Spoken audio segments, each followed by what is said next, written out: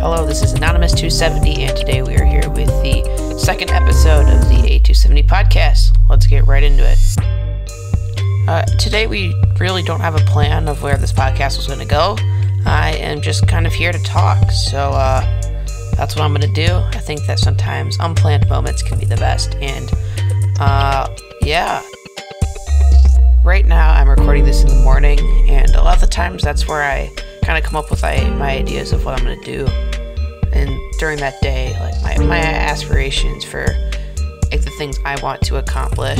And um, so, like right now, I'm just kind of sitting here, um, recording, speaking into the mic, just kind of thinking, you know, what is something that I want to get done today, music wise and I don't really even have to like write something to like be making music.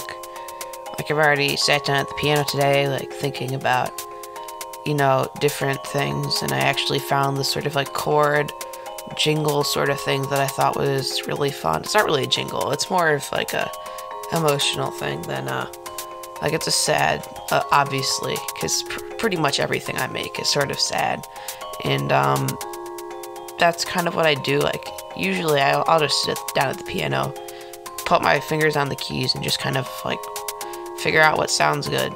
And if I like it, then a lot of the times I'll base a song off of it. I guess I've never really said this on, you know, like for Anonymous 270, but I really like the Beatles. They are definitely like top three favorite like musician band people. Like they're just amazing. And um I wouldn't say like I base my songs off of them, but like they're a huge inspiration and they're like like they're all like kind of weird guys. Like they're they're very charming, but they're not like the kind of like cool hit, like they're they're just different. I feel like than most musicians, which I find really awesome. I guess I learn a lot of songs by them.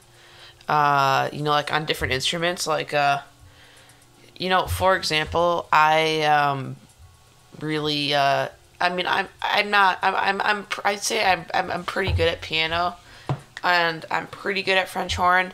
Other than that, like I can play other instruments, like not really, but like guitar, ukulele, like I'm comfortable. I'm not I'm not great. I don't really know any chords on like guitar for example. I know ukulele chords, but I think that uh in general, like it's just the feel of the music that's important. So like I um really like the Beatles. They have like really great guitarists. Like they are like really good, and um, especially throughout the years, they like really improved.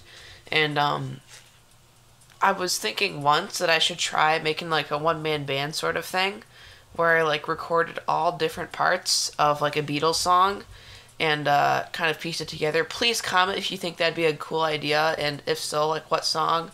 Um, I'm obviously like I'm not a great singer and you know like to be honest like sometimes it's a bit embarrassing to sing songs like that are so technically impressive and uh like if you're not like if you don't feel like you're a great singer it's pretty hard to do that. And like when I play guitar like I'm not a great guitarist but like if I feel that I'm doing it then that that's just as good as actually doing it. And um like I recently tried to learn the guitar part for Sun King by the Beatles. Uh, if you haven't heard that song, Sun King, it's called uh, the King of Sun, Sun Sun King. I know it sounds it's a strange name.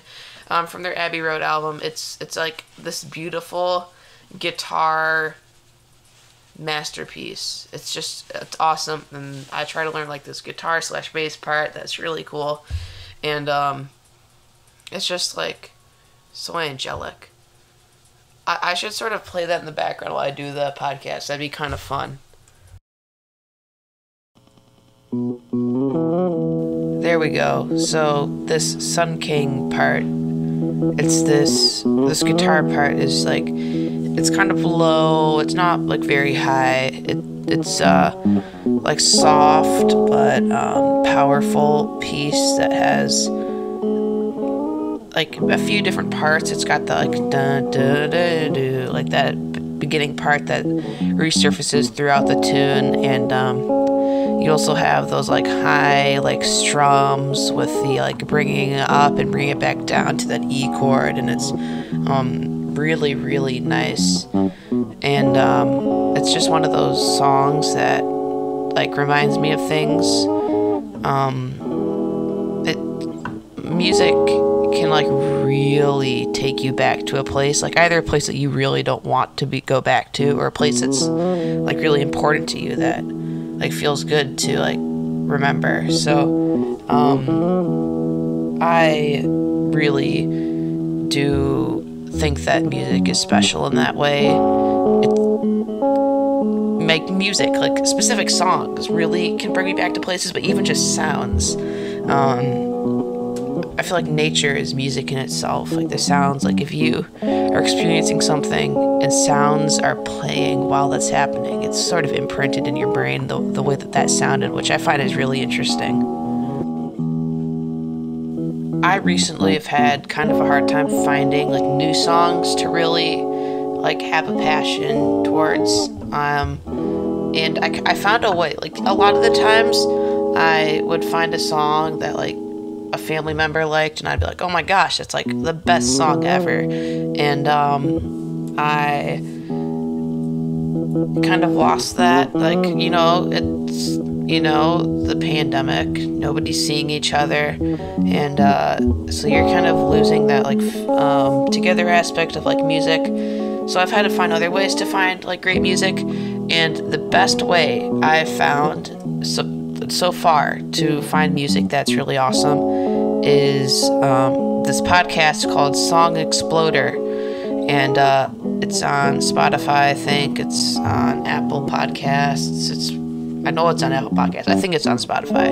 Um, check it out. It's amazing. Um, the premise of Song Exploder, and this is not paid advertisement. I'm just I am I love the podcast. Um, it is a podcast that uh, describes it, it, talks to like songwriters about songs that they made and they focus on a specific song for a songwriter and the songwriter explains like the process of making that song and um, they do like not as known like not not well-known artists which I, I like because it gives me like somebody new that's like not as popular um, or hasn't been like really seen yet um, gives me a chance to like see and support them.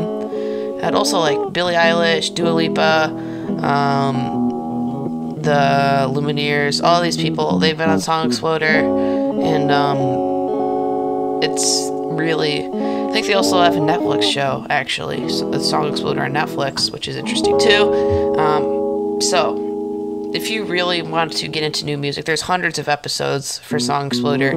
It's uh, really really amazing. And the, the episodes are only like, they don't get much longer than 20 minutes at most. Sometimes they're even like 10, 15 minutes. So if you want a quick new song to listen to and know the backstory to that, Song Exploder is definitely something you should check out. Other things that music wise I've found to like really enjoy lately um, Johnny Cash. He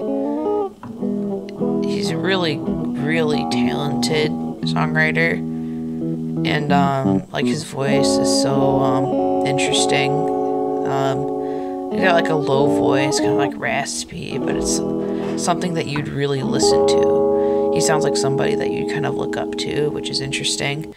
Um, but the song lyrics, there's this there, there's this one song.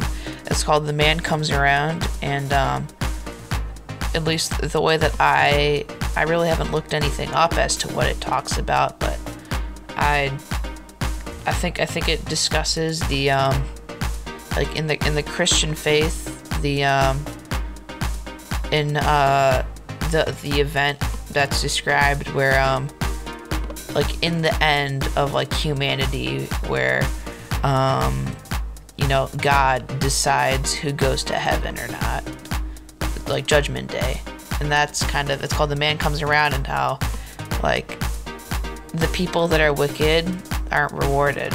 And um, i thought that was kind of interesting. And the way he describes it is just so like poetic. I absolutely love it. And also the song is really simple but so complex.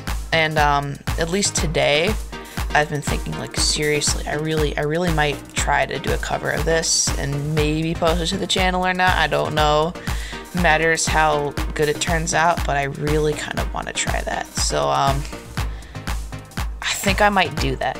We'll see. But the, the, man coming around, please give it a listen if you've not heard it, or if you're interested, want some new music to check out. Johnny Cash, he's really talented. Really, he's just he's just awesome, and uh, I've uh, really enjoyed listening to him lately. Um, I guess on that page, Neil Young is somebody I've also listened to lately. Not a lot, but like I just think he's pretty cool. And of course, the Beatles. I've also listened to the Beatles quite a lot lately, and uh, you know, they're really awesome. And uh, you know, I guess at this point, the Beatles, while I really admire their music, even if I didn't think their music was good, I'd still be listening to them. A lot has happened in my life in the past like half a year, like six months. And um, during that period of like lots of change, I uh, I really listened to the Beatles a lot, and um, pretty much any time I had earbuds in, I was listening to the Beatles, and uh, that really solidified something in my brain. Specifically with Abbey Road, but also other songs, if we just take them, I really think I'm confident I'll be able to describe. Like, we can take Octopus's Garden by the Beatles. Like, if I think, of, listen to that song, I, I'm, I'm walking through the neighbor through my old neighborhood walking my dog like that's just the thing that comes to mind um a, a, uh what other songs um, let's see, like uh, "I Want You," "She's So Heavy." That that song, Abbey Road. Again, it's very long and interesting. A lot of emotion in that song, and uh, that really reminds me of uh, trying to learn that guitar part and sitting on my couch in my old house downstairs, just sitting there like really trying to focus on how to play this guitar part. Um, Eleanor Rigby I really that that reminds me of a school project I did. Like all of these songs packed into six months create this entire story, this entire timeline, which is really interesting. And um, that's really that's probably the main reason why I listen to the Beatles still today. Which is kind of interesting to think about. Like it's not even the music at this point. Like all the words like are in my head. All of the beats, the uh, the chords, all of that's just stuck in my head and really all, all that's left there is the feelings. It's really it's really interesting to think about.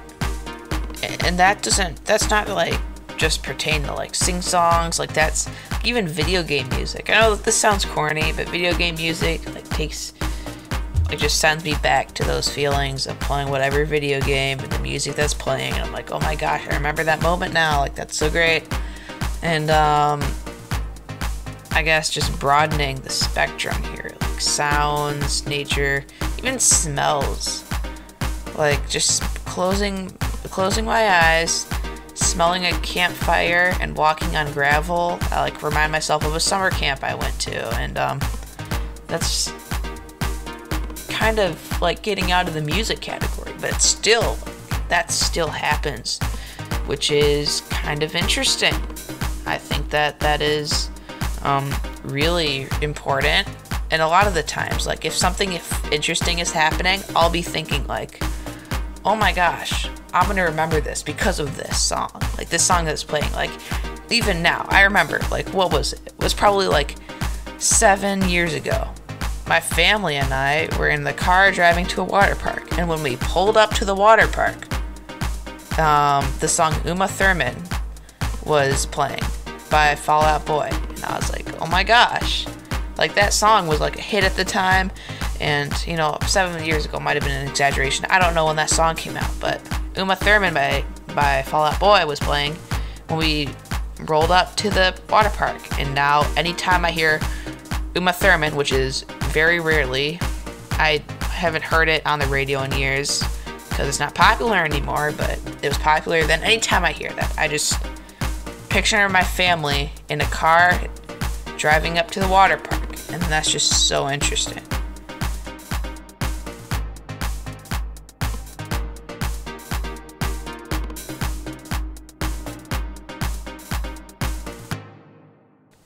And that's all I have for this episode today on the A270 podcast. Thanks for listening.